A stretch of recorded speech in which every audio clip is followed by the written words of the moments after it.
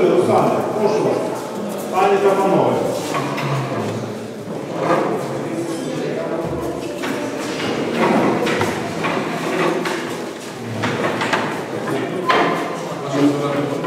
А?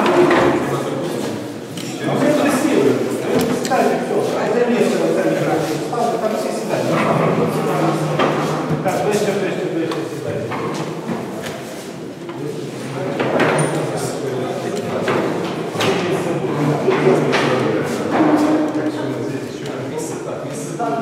Так, Дозвольте, дозвольте перед початком нашого робочого засідання е, зробити такі приємні, приємні е, оголошення.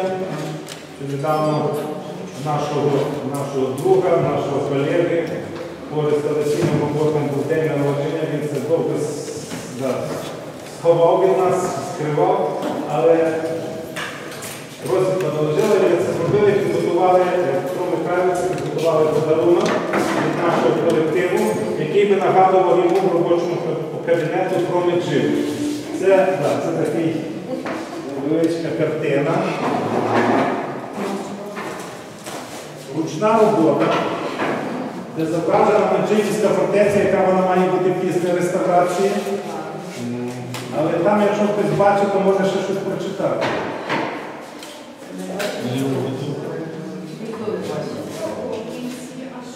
Ано, ребус.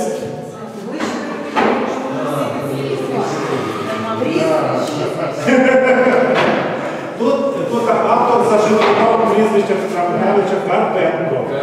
Але крім того, він ще придумав герб. Бачите, він схожий трошки на масонський, але якщо будете мати можливість, можете розвивати далі цю ідею. Петро Михайлович, це щиро від нашого колективу, це авторська робота, це дуже копітка робота, це наш друг Юрій Адамчук, тут його теж є. Да, і картина номерна, кожна картина має свій номер. І ми хотіли, що дійсно ми разом з вами зробили таку фортецю, наше містечко таким гарним. Не тільки фортецю, а все. все, все. Я знав, що ви великі історики, ми не знали, що не настільки вже неординарні. Ми давайте Дякую слова. Дякую всім за поздоровлення. А ну, не можна. Давайте я туди. А ми зараз тут, на стульці. Да, ще краще, щоб Сашко забрав машину, бо тут буває, що речі зникають.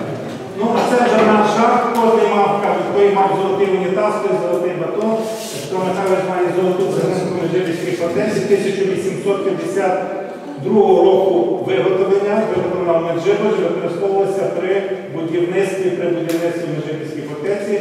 Я знаю, що в мене є колекція дуже гарних речей в кабінеті, але ось таких речей немає. Це яка прив'язана, чітко знаємо, де виготовлена, і вона має теж більше 150 років історії. Дякую. Це дякую надію на подальшу співпрацю. Ну, а тепер розпочати ті окуляри візьму, буквально нормально секундочку.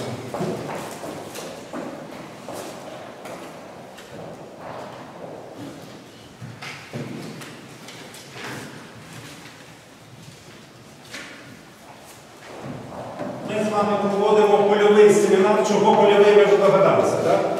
Бо ми сьогодні, як ті археологи, ходять в поле на розкопки, то ми, як реставратори, архітектори, теж були в полі, були в полі і бачили ту роботу. Е, Сама ідея виникнення польового семінару готувалася на тому, що е, йдуть е, реставраційні роботи, йдуть археологічні роботи. Але зрозуміло, що палац має багато таємниць, і кожна, кожна ця таємниця примушує нас приймати якісь нові рішення. І зрозуміло, під час робочих зустрічей ми обговорюємо всі питання від технічних до, е, скажімо, концептуальних, але ось так, щоб зібратися в повному складі, а тим паче запросити людей, які є нашими колегами з Бережан, з Кам'янця-Подільського, з Харкова.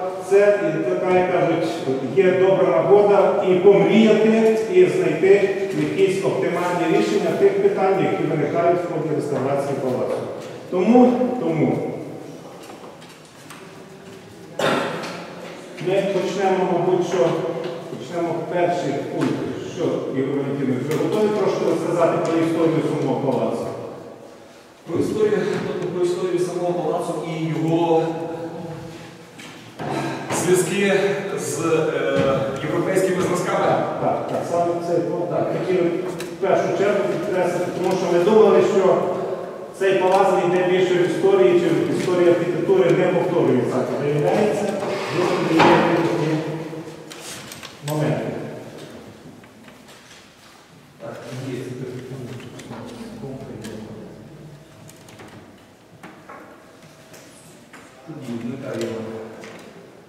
Екран.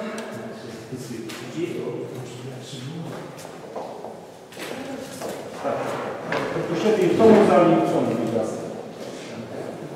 Отже, е, шановні колеги, е, цікава така сторінка у е, дослідженнях палацу Санявських почалася е, 25 грудня 2015 року тут у Хмельницькому, коли колективом наших е, проєктантів, реставраторів і, зокрема, Тетяною Іванівною Філіповою у нас у управлінні культури, національності, релігії та туризму проходив е, такий первинний захист проєкту е, першочергово протиаварійних робіт. І йшлося про концепцію реставрації. І ось саме тоді, саме того дня, нам було презентовано одну невеличку фотографію, а саме ось цю, яка у нас справа біля, е, біля тої давньої листівки Палацу Синявських. Перше, що ми бачили, це дійсно перший такий став шоку. Є, ми бачимо наш власний палац Синявських у Межирівській фортеці, тільки не поруйнований. Тільки такий, як він, ну, ще напевно, що трошки такий безгосподарний, але ж такий, яким він мав би бути. І лише десь друга секунда і так далі сприйняття вже е, кажуть, чекайте, це ж щось інше. Тому що він так дійсно подібний до палацу нашого, особливо ось цей атик е, з тими коронками, зубцями, ходові вежі двоповерховий. Але ж перше, він якийсь трошки інший. Друге, наявність дерев'яної галереї. І що найцікавіше, що він стоїть не у середині фортеці і не прилягає до фортечної стіни, а стоїть на вільному просторі. Далі вже кидаються деякі спільні, деякі відмінності. Ось ще е, збільшена трошки ця фотографія. Шукали де, тому що фотографія не була підписана, не була атрибутована.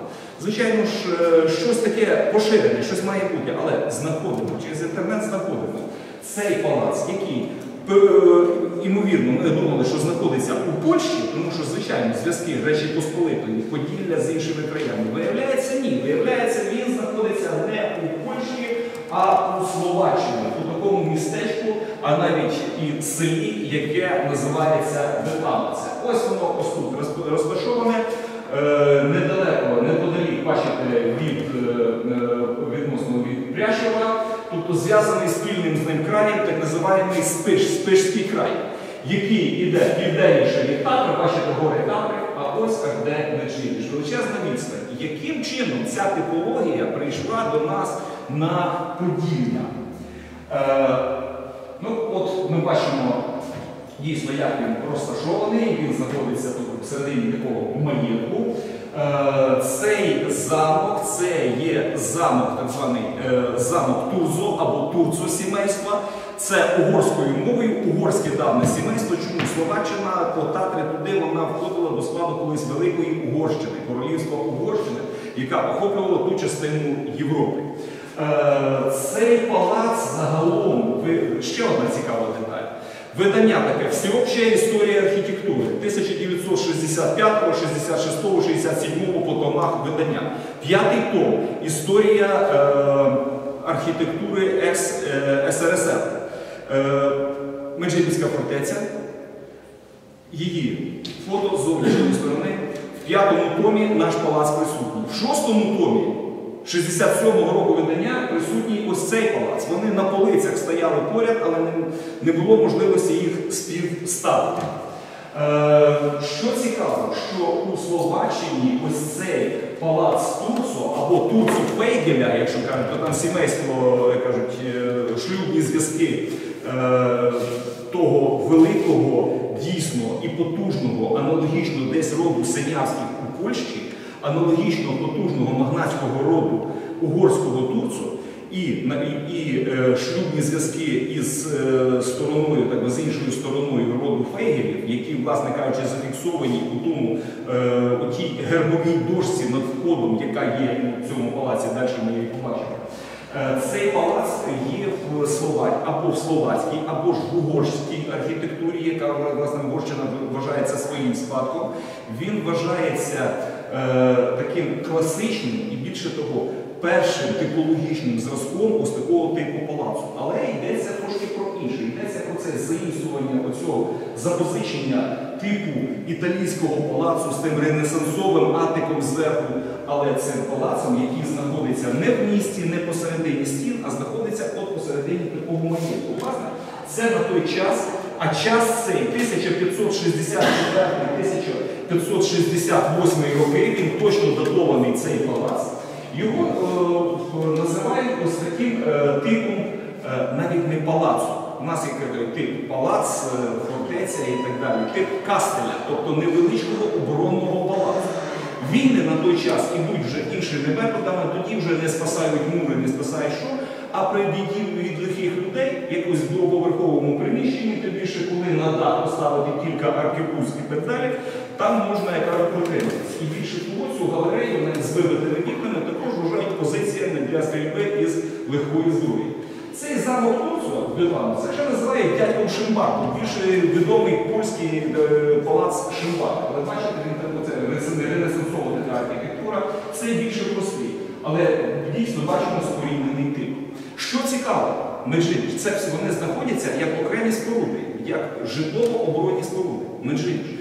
Ми бачимо ніби палац Турцова перенесений і поставлений всередину фортечних стін. Тобто, звичайно, якісь е, запозичення ми е, можемо припустити. Хоча тут треба звичайно бути завжди обережними, щоб від аналогії не перейти десь до псевдоаналогії. Але аналогій є дуже багато. Отже, палац Одноплавниця, його загальний вигляд його розташування на сьогоднішній день. Дерев'яна галерея, до речі, е, була е, відновлена при його реставрації у 1956 році за тими гніздами, які залишилися у стінах. Загалом, е, бачите, відео є і спільне, і відмінне. Загальна конфігурація співпадає, але, наприклад, кутові вази вписані в зубці, і вази тут є абсолютно кутові, абсолютно однаковими. У нас же вони різні. Чотири різних вази. Дві наявних, дві за ми бачимо, що вони різної форми. Це окремий момент, про який також треба говорити. Ну тут, звичайно, відрізняється і цей нарощений центральний зубець, але по фасаду, що там, що там по 11 зубців. І знову ж таки характерна ось ця форма, як її видно відносять до ластівчиного хвоста, але ж таким середником, який в амбразурі е, має ось таке півколо. Дуже характерна річ. Колись ми говорили з е, е, дослідниками історії архітектури, і була така думка, що ось так, до речі, це гербова дошка е, над входом, де тут гурт герб Турцу, герб Фейгелі, а тут датування 1900 це 1964-1568. Знову ж таки, бачимо характерні для того часу тесані одвірки, такі з характерним декоруванням.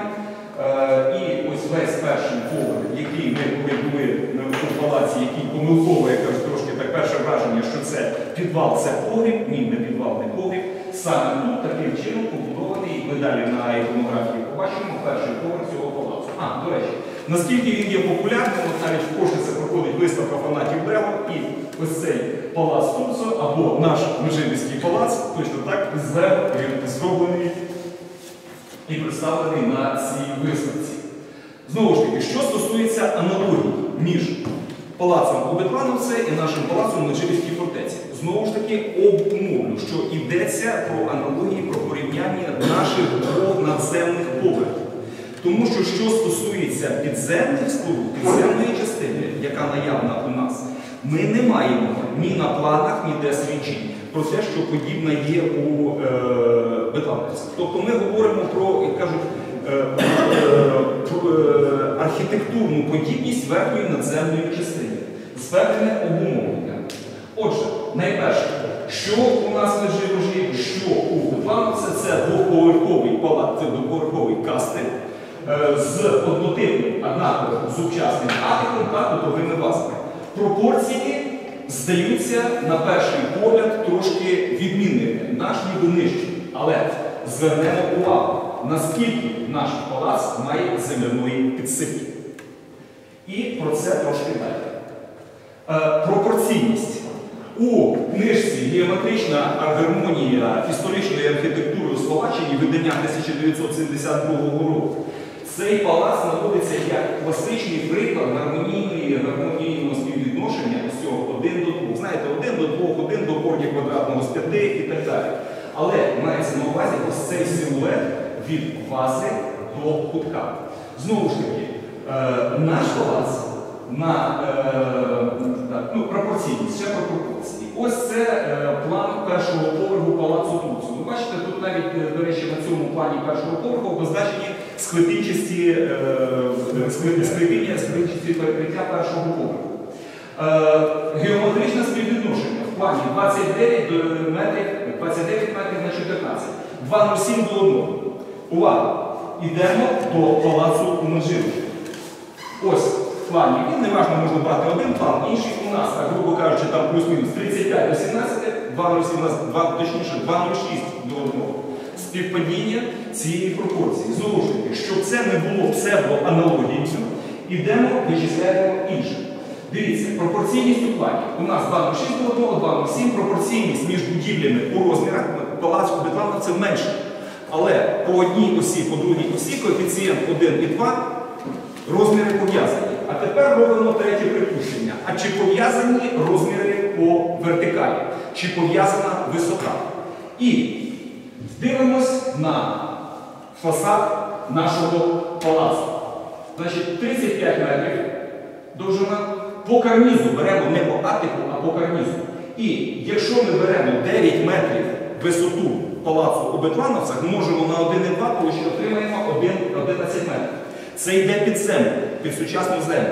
Але цих 11 метрів ми виходимо точно на ось цей першу відмітку рівень відмостки попереднього періоду, який, власне кажучи, був даний попередніми дослідженнями, який закладений у нашому проєкті, тобто це підтверджує, якщо ми таку гармонійну таку пропорцію беремо, це підтверджує е, ті, е, ті результати, які отримані в ході проєктування. До речі, це не підтверджує в цьому е, місці е, проєкт Лопушинської, яка передбачала пониження денної поверхні ще на метр нижче.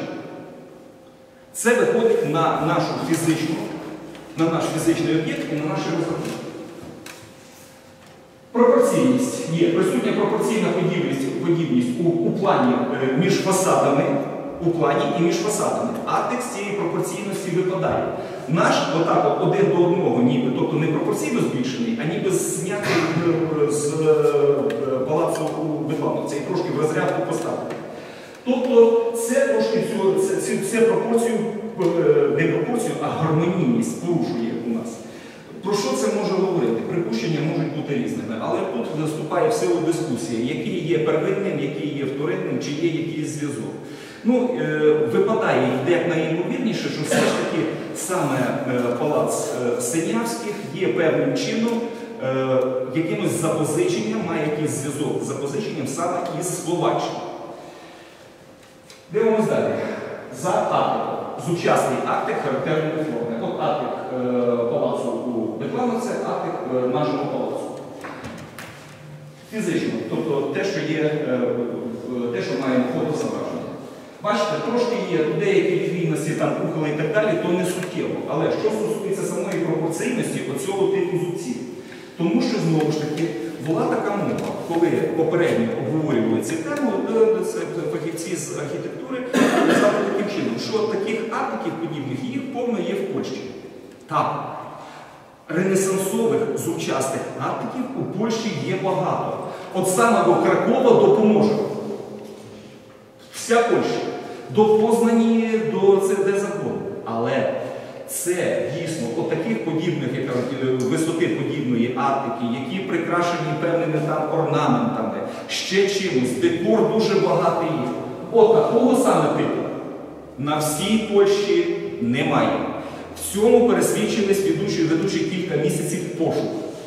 Знову ж таки, в Польщі ми знаходили ці зразки, але в одному лише певному регіоні. Дивимося далі. Отже, чи є подібні зубці в Польщі, Словаччині або інших країнах Європи? А тепер дивіться. Бачите, пряжка. Словаччина. Бачите цей мотив? Пропорції трошки інші, але мотив цей є. Далі, наступний. Чехія, Простеєв, ратуша, стара ратуша була перебудована, але бачите цей мотив? Знову ж таки є. Наступне. Чехія, нове місто над. Бачите, мотив? Ну, Знову ж таки, трошки е, змінений, але е, цей будинок піддавався перебудові. Причому, що цікаво, що зразки цього стилю ластівчиного хвоста з середником, побудованого з півком і чітків і чвертків, спостерігаються у будівлях з середини 16 століття, тобто з е, того моменту, коли побудований палац Будеплановця, і імовірно в той період, е, або трошки пізніше будує, знову ж таки, як припущення, будується наш палац, і до середини 17 століття. Десь ось такі подібні речі. Ну, навіть не середини, навіть е, до кінця 17 століття. Тобто е, цікавий мотив. А тепер дивіться, це вже не кастель, це вже не фортеця. Словаччина, костел у Ямнику. Ви бачите ось ці зубчики? Що вони нам нагадують? Саме наш ось цей стиль такого специфічного меджибіського типу е, ластівчиного хвоста. Але тепер подивіться ще на одну річ. Бачите кутові маски? Бачите їх? А ви бачите, що вони різні? Різної форми. І ось цей мотив різних прикрашання кутових ваз різної форми, він трапляється як у Словаччині, так і в деяких місцях, але південної Польщі, яка примикає до Татар, тобто безпосередньо до того самого регіону. Більше того, є такий регіон, який називається Польський Спиш. Він примикає до, через Татри до. І тільки там це поширено. Далі. Ще одне. Сама генеза цієї форми. Дивіться, прикраси от, е, артики костелів того самого словацького спишу і польського спишу. Бачите, цей мотив трошки трансформується, але він є. Ось ще один з Польщі, але знову ж таки на польському спишу. Знову ж таки, е, розріз е, е, півколо, а зубчики будуються розрізанням півкола і розвертанням. Ну, це вже трошки можна да, трансформації, до речі, того типу. От той дуже симпатичний, дуже такий незвичайний цей атик цього костелу. Бачите, він трансформований, він має вже і якийсь декор, і якісь такі речі, але він тяжіє все одно до того самого якогось символу, який ми маємо, такий стабільний, стійкий символ у, е, у нашому атомі. І тим більше ще один момент. Бачите, знову є кутові вази, і знову ж таки трансформовані, але вони знову ж таки різної форми. Є циліндрична, є, є е, поєднання в одній споруді е, різних цих форм. Про що це, до речі, на шляху думку наштовхує? Думку, яку ще далі треба розвивати і чи підтверджувати, чи спростовувати. Сказати щось, напевно, неможливо. Але це все, що ми бачимо, це стилістика епохи Ренесансу, це пізній Ренесанс. А як е, кажуть нам дослідники історії архітектури, є певні скажімо так, посилання, я вже так не називаю тих авторів, але стверджується таким чином, що саме період Ренесансу це той час, коли декор в архітектурі несе певну символіку, несе певний зміст. Далі настає епоха бароко, де вже йде декор заради декору, краса заради краси. Ренесанс це ще є певна мова. Тобто, так само, як свого часу починалися е, зубці на стінах. Це міланська така е, традиція, яка йшла далі і Італією, і Європою. Тобто прямокутний зубець, і це зубець гвельфів або ластівчиний із зубець гібелінів і так далі, гібелінський зубець, які не мали ось ці, наприклад, кремлівський цей гібелінський зубець на, на московському, казанському і так далі кремлях, які робили італійці.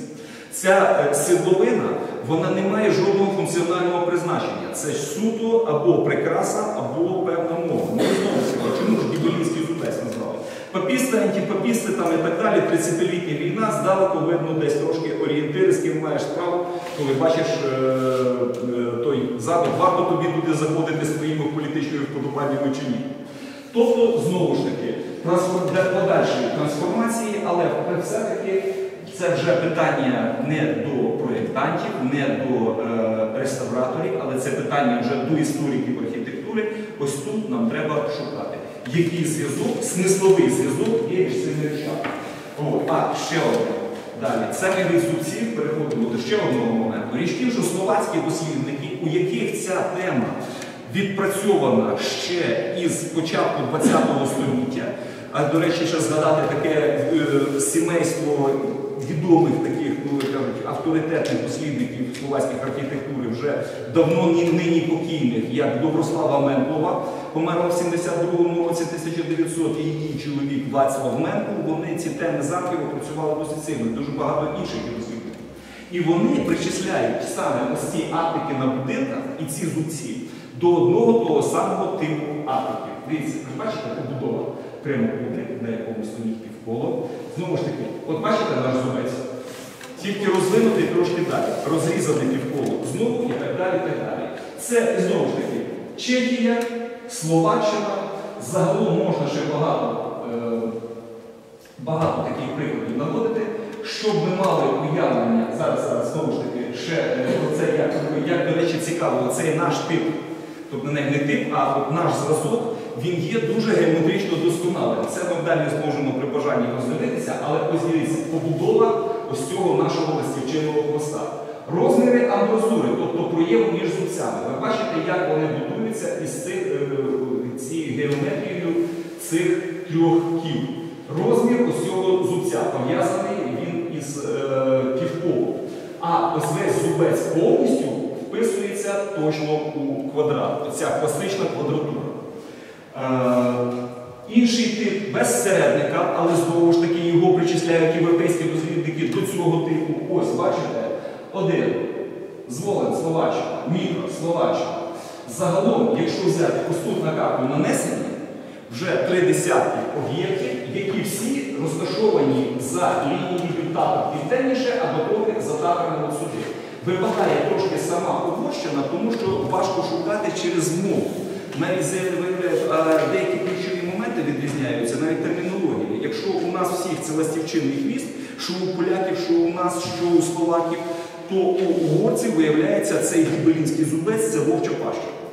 Але трошки важче там шукати, але певно ця територія там від Дебреця, Мірчказа і так далі, вона повинна бути накрита, тому що це все входило до Великої Угорщини, і навіть у Румунії, навіть замок Бран, той самий замок, де е, Брем Стокер поселив так віртуального графа Дракула, він також має ознаки цієї стилістики. Тобто, бачите, масив весь розташований саме тут. Він не йде, не тяжіє туди ближче до Середземного моря, а саме ось тут, на Словаччині, Чехії і навіть трохи у Австрії він усідає. Що ж ми маємо знову ж таки в Україні? Від цього масиву ми маємо межиріч і ми маємо межиріч Рівненської області. Але тут не, с- не трьох складовий зубець, а двох складовий. Бачите, все більше на території України немає. Є інші. Такий тип зубців є, ну, є наприклад, як в е, замку Любарта, там такі більш ренесансові, більш декоровані вони. Або такі, як в Острозі, у нас у Летичеві, у Старокостянтинові, інший тип зовсім. Такого типу, як у нас, ми ніде більше не маємо. Про що, власне кажучи, це нам говорить? Е, що принаймні е, увагу звернути на ті зразки саме не польської, а е, архітектури Великої Угорщини, як при вирішенні якихось наших моментів, принаймні увагу звернути варто.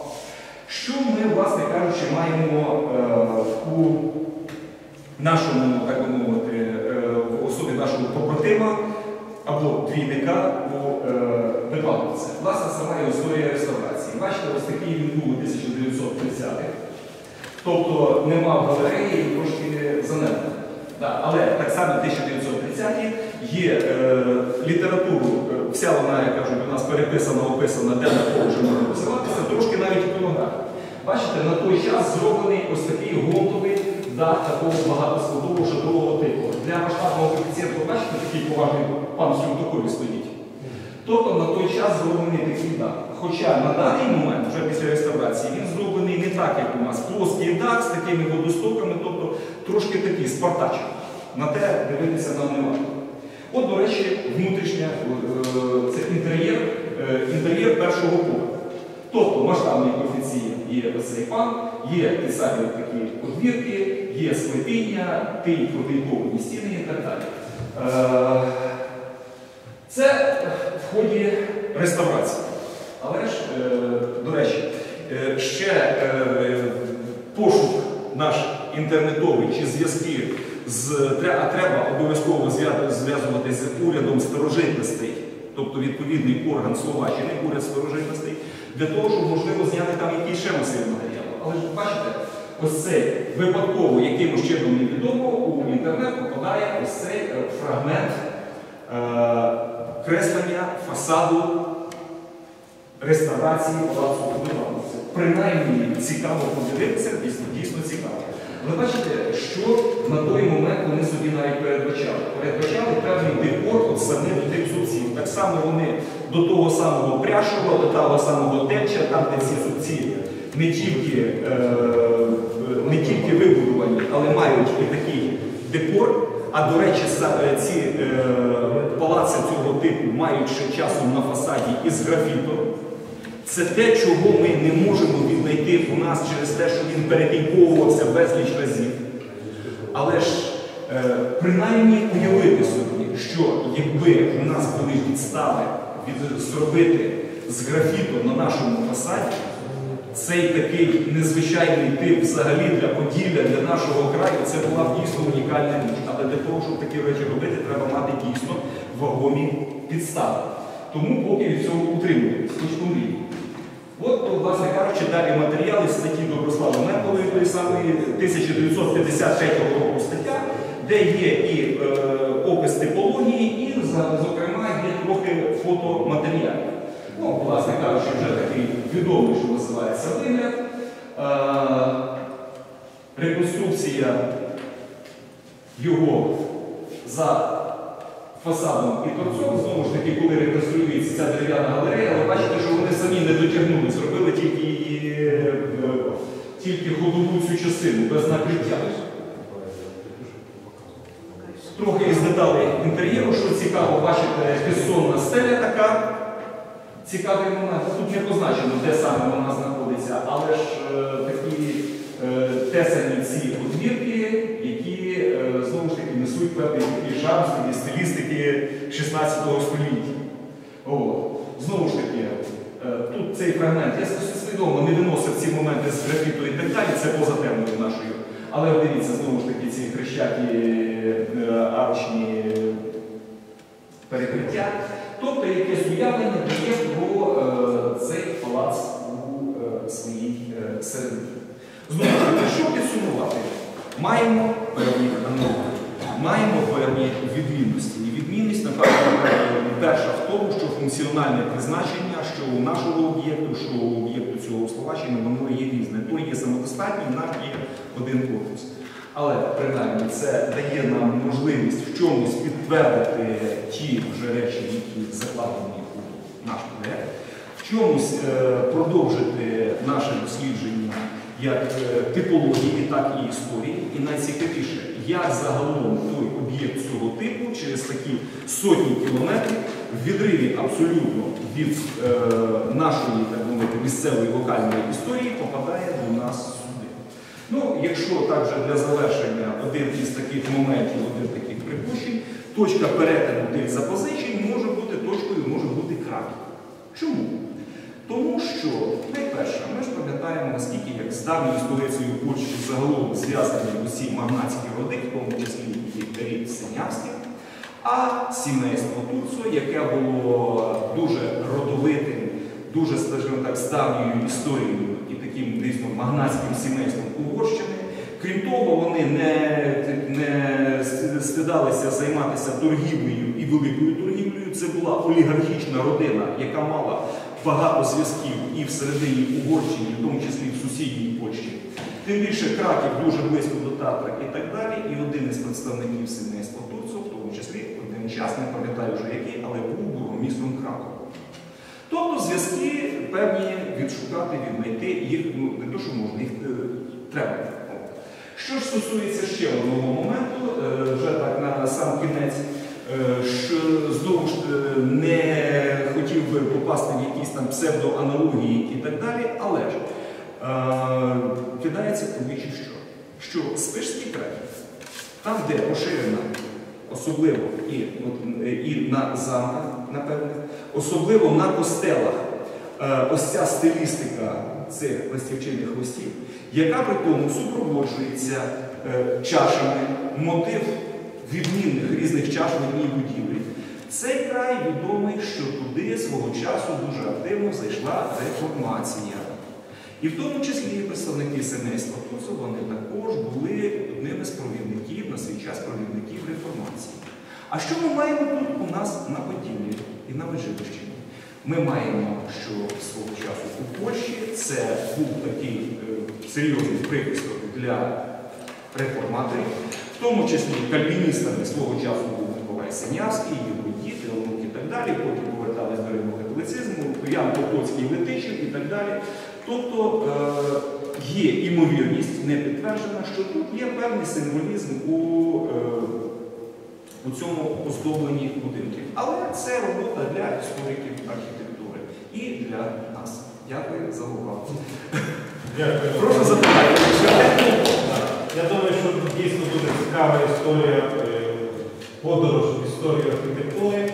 І саме дуже приємно, що дійсно в Нежибожі є така пам'ятка, і такий об'єкт, який до якого ми сьогодні, заради якого ми зібралися, і він має таку цікаву історію. І можна уявити, це вже практично екскурсія по палацу. Так, де навіть нічого поки що немає, музифікації немає, але вже ціла екскурсія про історію розвитку архітектури саме цього типу е, в південно-східній Європі. Але прошу запитання, що є. Як ви знайшли замок Словаччини? Замок Словаччині його знайшла Тетяна Івановна Філіпова. І перше, коли е, цей проект, ці планшети, до речі, перепрошую, Е, е, так. Е, І коли оця частина- з цих планшетів представлена тут, бачите, він там внизу також на планшеті. Перше, коли, коли вона з колегами привезла ці планшети, вона ще достає роздруковку, показує нам, каже, дивіться. І ми в шоку. Це але ж е, потрібно було певний час, щоб цей образ вистоявся, а потім ще е, абсолютно несвідомо зачепив цей весь ланцюжок, який тягнеться. І Євгенія Лопушинська, яка була першим е, реставратором нашої музейської фортеці, готувала документацію на реставрацію палацу, вона ніде не посилається на це джерело. Хоча, як сказав Ігор, ці два тома, ці до всесвітньої історії архітектури, вони стоять поруч. І треба знайти їх, але доля, значить, скільки років, через 40 років практично воно повторилося і зробилося це життя.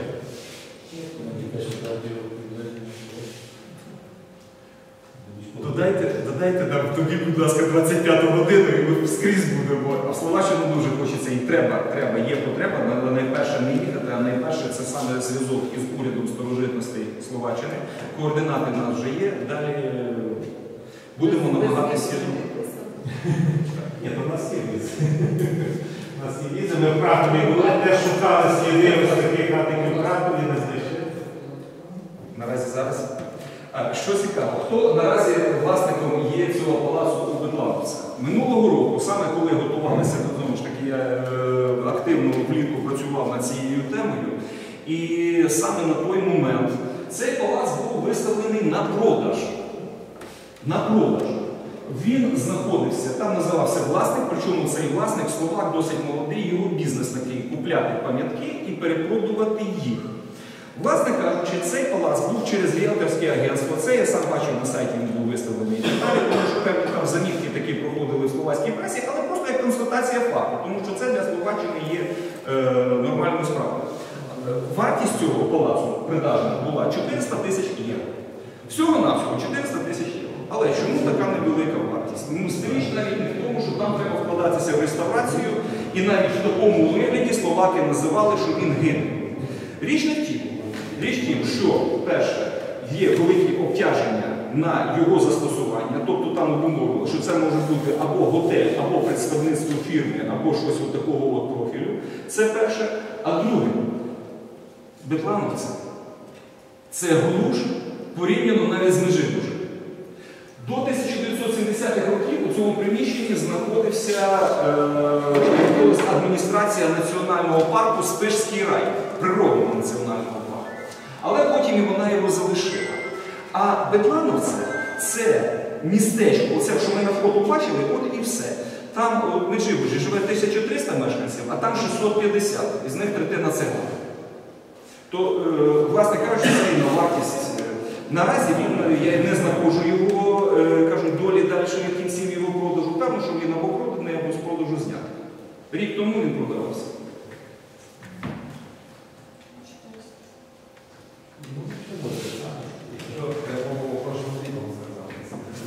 Один, один будиночок, у нас селищна рада подала один будиночок старовинний за 3 мільйони 600 гривень.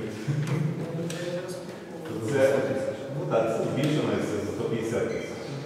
То палац з інфраструктурою, з усім, з земельними апаратами. Будинок в іншому стані. Так. Ну, е, чесно говорячи, Ігор Валентинович підготував це е, десь щоб показати, наскільки ми маємо справу з унікальною будівлею. Розуміло, здавалося, вже скільки 40 років майже дослідження цієї, цієї пам'ятки і архітекторами, і і археологами, реставраторами. Але до сьогоднішнього дня вона ще криє свої таємниці. І за завданнями реставраторів ми в минулому році провели археологічні дослідження. Ми е, знайшли, де закінчуються, де закінчуються фундаменти західної стіни, північної стіни, східної стіни, але в східній частині. І нам археологічні, дослідження показали, що з, напрямку заходу на схід, а там ми от якраз бачимо західну сторону, заходу на, схід, е, глибина залягання фундаментів збільшується. Це говорить про те, що раніше тут був природний схил, і зрозуміло для того, щоб не було цього сповзання, е, самим будівничим потрібно було по- по- по- посилити саме східну і північно-східну частину е, цього палацу. Також залишається для нас ще е, незрозуміло, чому різні склепіння. Ви сьогодні були в палаці, ви бачили, десь є кам'яні, десь є вже шатрові, вже тільки з цегли зроблені, чи це різні періоди будівництва чи ні. Тому що за деякими версіями е, говорять про те, що основою палацу Меджибужі є ще будівлі тої фортеці Литовського часу, від якої залишилася тільки частина фундаментів і одна із веж. Це теж до сьогоднішнього дня для нас є таємниця, і через те ми будемо продовжувати в цьому році археологічні обстеження для того, щоб подивитися, чи є можливо ще один ярус, можливо ще один ярус є нижче. Це на сьогодні теж ми не можемо повністю дати гарантію. Ну і сама вже сама принцип використання палацу в фортеці. Палацу в фортеці це теж є незвично в даному випадку, тому що ви бачите, що такі палаци це італійські, які пішли на зміну тим шикарним палацам, в яких навіть дворик був всередині, такі як в Львові є. Ці палаци набагато скромніші такі, і я думаю, що це теж якась еволюція, еволюція таких будівель. І на базі цього всього буде вибудована, вибудована концепція музеїфікації палацу, яка обов'язково буде і мати частину таку як екскурсія саме про історію, історію самого палацу. Не ту історію, хто там жив і як там, що там відбувалося, а про те, як цей тип таких палаців прийшов до нас сюди на Поділля, і як він е, утверджувався в Європі, як він подорожував по Європі, і саме де такі ось у нас дійсно такі побратими чи близнята є, і як вони використовуються на сьогоднішній день. Е, Ігор Владимирович, ще в нас є е, іконографічна частина. Так. То Вероніка Григорівна нам представить, що ми на сьогодні маємо з іконографічної частини по нашому палацу Синявських. Е, Прикро, але вона не є такою дуже великою, хоча здавалось би, Меджибіж така розкручена пам'ятка і багато-багато про неї і фотографують, і все інше. Але от ми хочемо продемонструвати, що ж ми на сьогоднішній день маємо саме з іконографічної та фотографічної частини саме палацу Синявських чорториських. Е, Іконографічна та фотографічна галерея вона є теж дуже важливою, тому що е, вона дає можливість е, відтворення реставрації е, тих пам'яток, які є на території фортеці. І от по палацу Синявських Чарторийських в основному найбільше є таких е, е, зображень. Це 19 століття, початок 20-го і 50-х років. Тобто досліджували у 19 столітті це малюнки робив відомий художник, композитор Наполеон Орда. Він залишив дуже багато малюнків тих вже об'єктів, які не збереглися до наших днів. В тому числі і малюнок Меджибіської фортеці. Це е, дивіться річка Південний Буг. На річці ми завжди розповідаємо у е, своїх екскурсіях, що річка дійсно була е, зв'язком таким торговельним між населеними пунктами. І от є, бачите, човен на річці. Ну і тут видно дуже добре південно-східну частину, в тому числі і палац Синявський, який зовні має ті контрфорси, були побудовані вже у 17 столітті. І є е, частина східного бастіону, е, є також і колишній банкетний зал, і над е, круглою вежею є оте завершення, якого немає вже на сьогоднішній день. Так що сторони містечка це частина костелу Римо-католицького видно, і будинки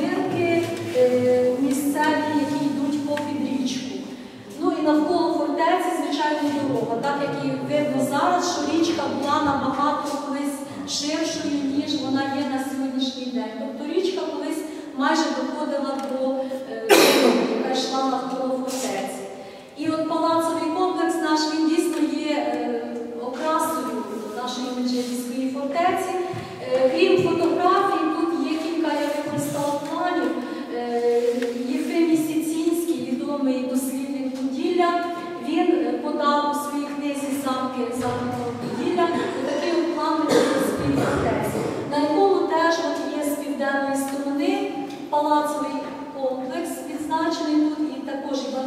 банкетний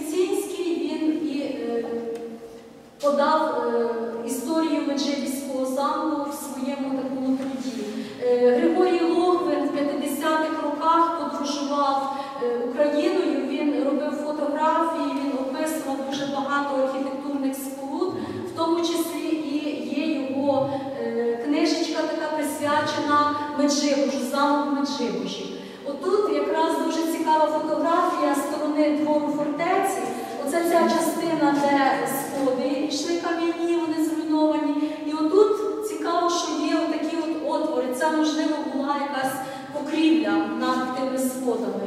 От що це таке було, звичайно, це теж, як кажуть, вже і е, архітекторам е, в майбутньому е, потрібно ще, як кажуть, відтворити і розгадати.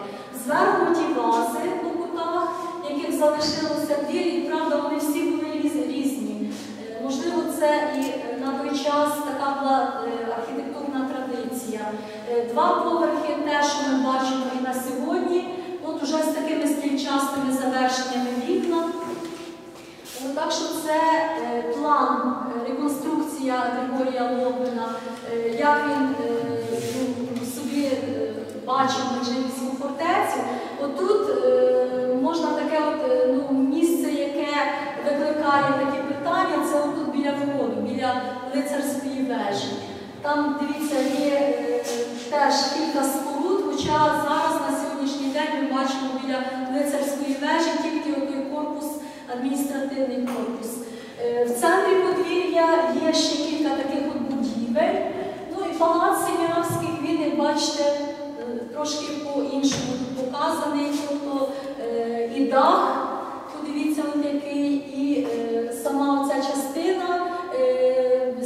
бастіон, він теж тут е, такий трошки іншу має конфігурацію. Немає цих контрфорсів позначено. Е, Тобто це такий уявний план, реконструкція Григорія Никоновича Логвина. Е, Меджибіський замок це з півдня, е, 1840 рік, це теж 19 століття. Отут вже теж є особливість, що стосується і палацу, от контрфорси,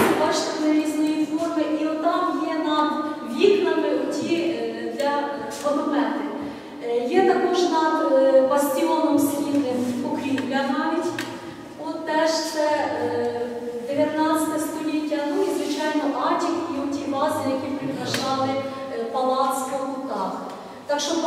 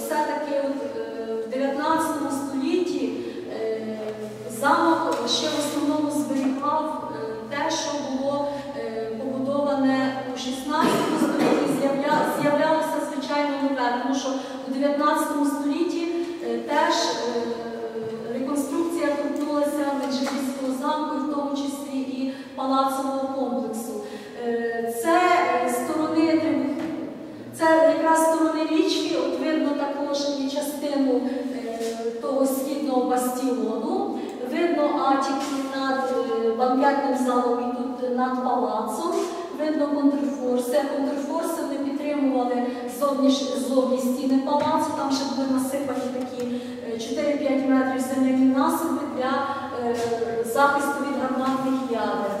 Е, Це 19 століття, фото також сторони Трибухівець. Тут замок виглядає досить велично. Е, Він е, дійсно на такому підвищенні, на пагорбі. Е, Теж видно палацовий комплекс, теж з такими стрільчастими завершеннями вікна там в палаці.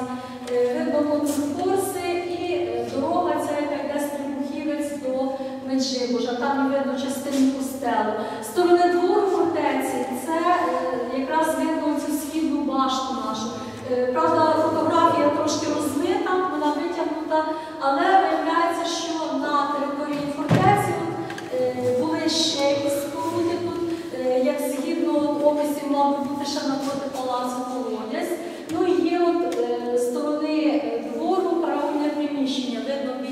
палацу. Е, Це традиційна така фотографія, яка е, з книги оборонні замки Західного Поділля, якраз сторони річки, та білосніжна е, будівля фортеці Меджибіської, і в тому числі і палацовий комплекс видно. Фортеця наша або замок, вона втратила вже своє оборонне значення і перетворилася на такий дійсно білосніжний романтичний замок палац. І порівнювалася з білим лебедем, порівнювалася з білим кораблем навіть. Е, Це е, з книжки теж оборонні замки Західного Поділля, видно решітки на східному бастіоні, ті е, решітки, які поставлені були для окраси для безпеки, щоб можна було вийти на терасу східного бастіону, милуватися навколишніми краєвидами. А от подивіться, як в 50-х роках це фото Григорія Николовича Логвина, 53-й рік. В 50-х роках виявляється, що було е, дано дозвіл на розбирання фортеці на будівельний матеріал. Тому люди, як кажуть, вже е, для відновлення і своїх будинків, для відновлення того, що було поміноване воєнний час, вони використовували будівельний матеріал із фортеці. І отут уже видно, як кажуть, е, результати того господарювання.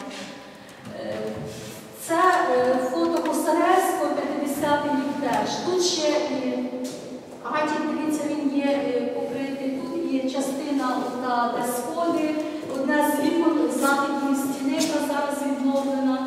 Е, Є е, Атік уже у збільшеному вигляді, теж фотографії 50-х років.